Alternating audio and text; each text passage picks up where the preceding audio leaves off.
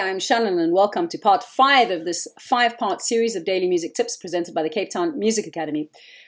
This one is entitled If the Box Fits, or If It Fits the Box. I would like to call on my assistant here, Master Ninja Smarty Pants. To the stage, please, Master Ninja Smarty Pants. Okay, we're going to have to try that again. Would you mind helping me here? On three, one, two, three. Master Ninja Smarty Pants! Woohoo! Hello, Master Ninja Smarty Pants. Hello. Thank you for joining me today. Are you good? I'm great.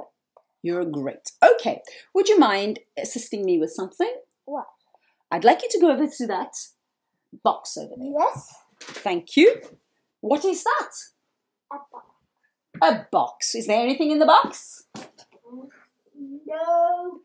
Nope. Okay, Master Ninja Smarty Pants, would you mind putting this in that box? Easy peasy lemon squeezy. Thank you, Master Ninja Smarty Pants. Would you mind now putting this box in that box? Thank you very much. Perfect fit, I see. You just, it's easy. You just have to say, go in the box.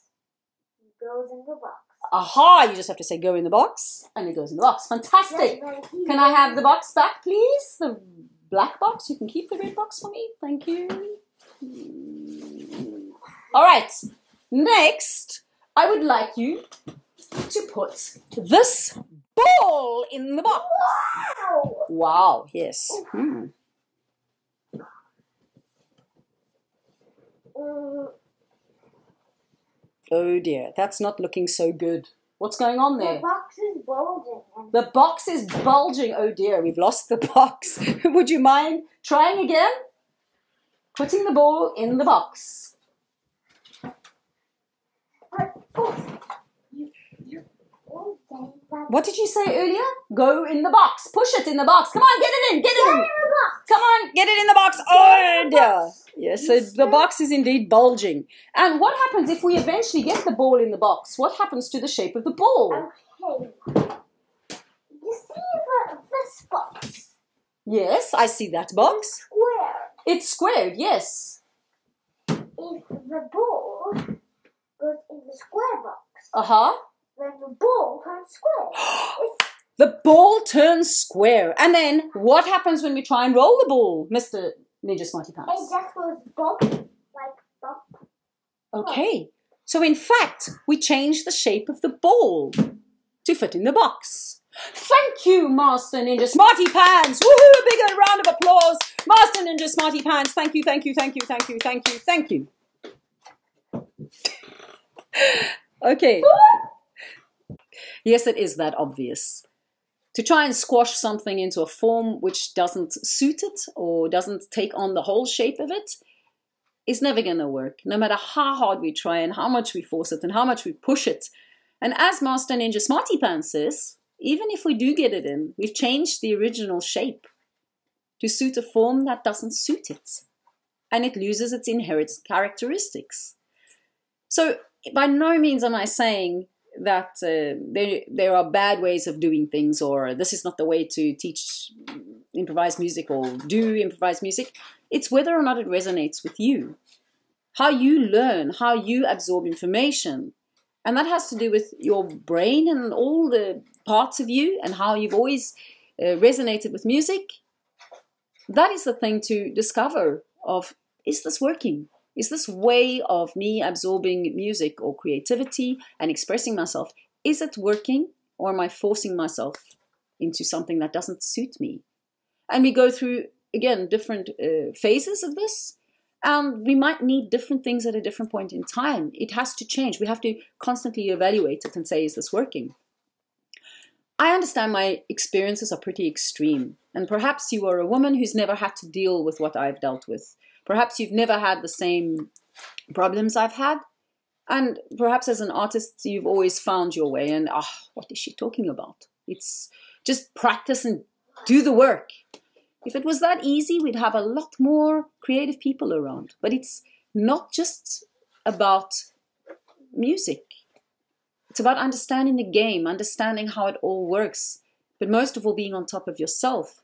So if you can get yourself, keep yourself intact and create the strongest possible version of self, then when you deliver your truth, it is with the strength of intention that many people who are successful are able to do. They are able to deliver uh, because they really believe what they do. And by the same token, once you found that in yourself, it speaks for itself. So this is not about being a woman. This is not about uh, my experiences per se. It's about the fact that maybe some of the stuff resonates with you. And maybe you're not a person, you're a little out of the box. Maybe you don't fit these forms.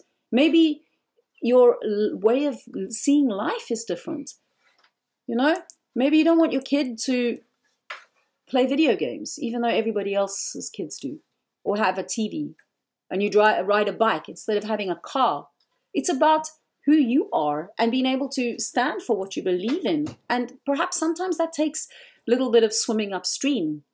You certainly don't need to move to the other end of the world like I did and make drastic measures, because also there are many people who probably you would resonate with if you just had a look. If you stopped seeking uh, out the people who you feel you should seek out, oh, they're the best, they're the greatest, instead of just actually taking note of actually who do I resonate with? How, how do I look around my circumstances and see maybe there are people that see music and creativity the same way that I do? Stick with those people. It doesn't necessarily mean it's music, it's any kind of creative field. So, in the 9th of August 1956, 20,000 women went to the union buildings in South Africa to protest the pass laws. There is immense strength in numbers. I think in our industry, we don't have human resources or people to call out other people and say, hey, you, you're not being cool here or anything like that. So we have to take the onus upon ourselves. We have to go to our own little union buildings first and say, you know, are are these uh, my biases, my opinions, all of those things? Uh, are they are they fair? Is what I'm doing projecting uh, the way I relate to other musicians? Am I clean or am I prejudiced or biased? Do I have opinions? Do I have a really preconceived idea of a girl with a saxophone, for instance, is that uh, cover of uh, album cover from the 60s? You know, before she's played a note, if you have that idea in your mind, or whatever it is, we have to acknowledge our inherent biases and then say, okay, I'm going to try and clean up myself. And we all do this little um, cleansing.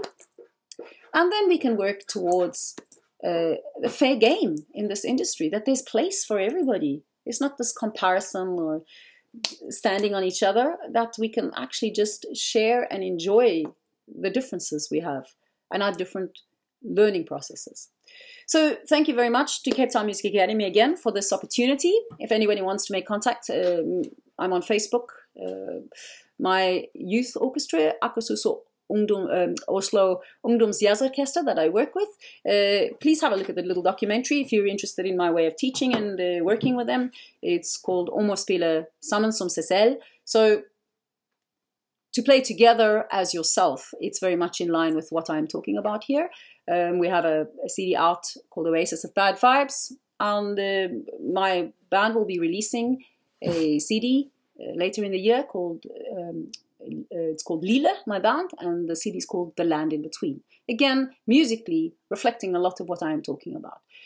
So I'd like to say a very big thank you to Master Ninja Smarty Pants also for his contribution. Thank you very much, Master Ninja Smarty Pants, and hope to see you soon again. Thank you very much. Bye-bye. Bye.